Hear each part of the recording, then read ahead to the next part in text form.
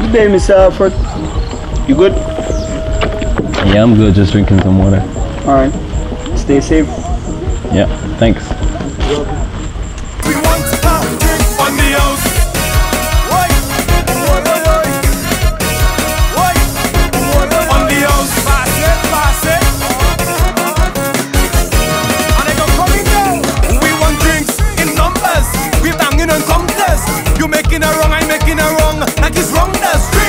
Back there.